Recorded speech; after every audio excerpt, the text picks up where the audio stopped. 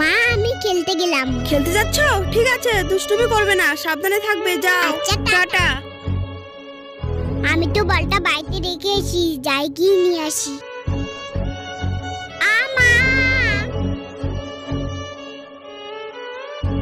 মনটা কেমন যেন করে উঠলো ভালো লাগছে না